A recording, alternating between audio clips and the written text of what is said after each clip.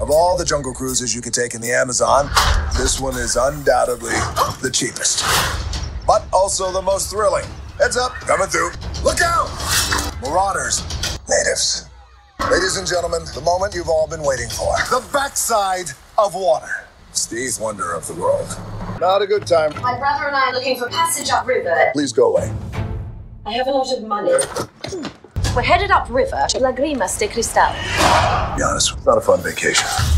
But you're gonna beg me to turn back. 10,000 to bring you there alive. Dead, it's 15,000. Why should I pay more dead? Dead, I'd have to carry you. Dead's a lot harder. A D N. It's Headphones Neil!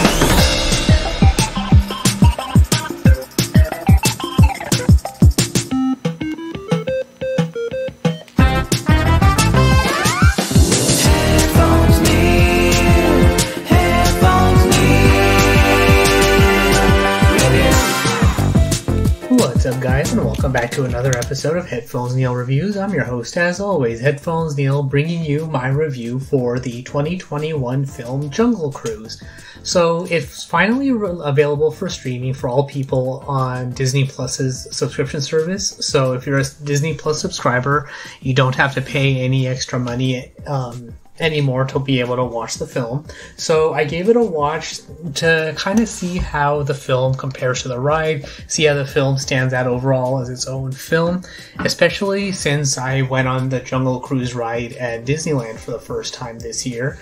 And basically, just to see how good or bad of a film it is. So, I want to say to start jump start it off right off the bat is that I enjoyed the film very much. They brought a lot of the look and feel of the ride into the film, mostly in the first third of the film, but they rounded out nicely and established a good film and set of lore and all of that around the ride itself. So when you're watching the film, it kind of starts along the lines of Stargate SG1, or sorry, the Stargate film, the first one when we have Daniel Jackson presenting his alternate ideas of the um, pyramids at Egypt to a group of archaeologists. In this case, we have um, Emily Blunt's character and her brother trying to talk about how this uh, pink leaf thing is real and she's trying to present it via her brother because no one takes her seriously as she's a woman. And um, at this point in history it's not really something that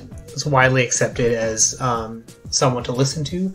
So from there we move on over to the rock's character as the skipper of a boat and basically a quick recreation of the jungle cruise ride which they present very well. He has the same corny jokes as the skippers give on the Jungle Cruise ride, like the backside of water, um, and generally just the corniness and um, um, overall presentation of the ride is brought over well into the film, to, especially to the point when late, even later in the film, they bring up a joke about the headhunters and washing your head and things like that. So even though you have heard a bunch of corny jokes, they take it that one step further and one corny joke further, like they do on the ride. So by this point, we're now about a third to maybe a quarter of the way, or a quarter or to a third of the way through the film, and then we jump into more of the history and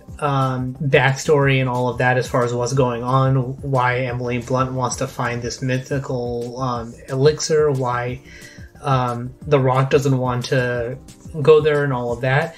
So in watching the film, basically once we've ha- once we have Emily Blunt's character hiring The Rock, it essentially turns into the bu- the bulk of the uh, Pirates of the Caribbean films merged into one.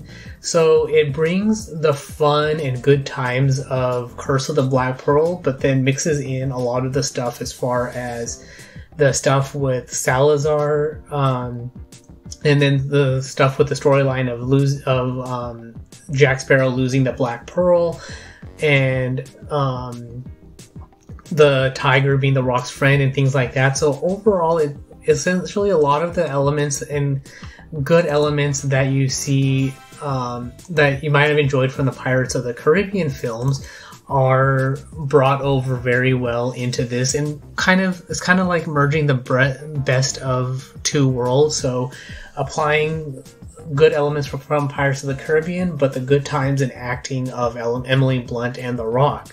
So overall, the film actually goes very quickly, and you don't really um, find, or I don't really find any dull points in the film. It's just a couple of time points in the film you wonder why it looks sounds very familiar and it's because they're applying the jungle cruise jokes to a pirates of the caribbean template. And even reading online it feels someone was saying that it feels like a spiritual successor to the pirates of the caribbean films. So i'm kind of curious to see if they start doing that for this where they start bringing out more jungle cruise rides where they potentially, and I this feels kind of limited, but they potentially go on different, um, go down different rivers to uh, find different bits of lore and try to find out different things, and that's kind of uh, pseudo tease at the end of the film when The Rock does go with Emily Blunt to England and learns how to drive, so they could potentially um, do things on the channel between um, England and France. They can go to Egypt to go down the Nile, go into India to go down the Ganges River, and things like that to kind of have different, or basically pull in the lore and spiritual mythology of various cultures and the rivers in each of those cultures. So potentially, if you want to do you know something per continent, to go through the seven continents of the world and do a film per continent eh, or something along those lines, which would actually be something um, that would interest me greatly. So just something to think about there, which I can see that they if they do a Jungle Cruise franchise like they did with Pirates of the Caribbean, where the first one was built on the or kind of expanding, making a movie out of the ride and making it a test run to see if it's feasible and people if people will like it, and then taking it from there to expand the franchise and lore and make um, the Rock and Emily Blunt globe trotting jungle cruise skipper. So The Rock is keeps his role as a skipper, and then Emily Blunt is kind of the archaeologist or mythologist or um, something along those lines. So kind of like um, the Mummy meets Indiana Jones. So that's all there is for this particular review. So as far as grading the film, I'd probably give it a good grade of about an A minus, right? At least ninety to ninety five percent. It's basically a good time, enjoyable. The Rock delivers the jokes as a skipper very well and makes it very fun. There's a lot of heart he brings when he's telling this his story about why he doesn't bleed and how he's 400 years old. Emily Blunt's character is good as far as um, being the a person at a time. Um, her brother was kind of the trope of the film that you knew that at some point he was going to get captured and tell the bad guy the plan and lead the bad guy to the goal of where um, Emily Blunt's character is trying to go. So, all in all, in general, I mean, it, it suppose while you would think that it's a film full full of you know trope fest, corny jokes and that sort of stuff, as far as basing it on the ride and translating the corny jokes and the skippers and all the various elements, generally works very well and. I think that's why it made for a generally fun film to watch. So that's all there is for this particular review. And actually, before I end it, um, so I would recommend watching the film if you want good times, a fun film, uh, silly jokes, and all of that good stuff, and is a good watch for the whole family. So that's all there is for this particular review. So if you have any questions, comments, feedback, or anything like that, you can find me on Twitter at PatelN01. The website is headphonesneil.reviews for past episodes, subscription links, supporting the show, and all of that good stuff. But thanks for tuning into this particular episode, and until next time.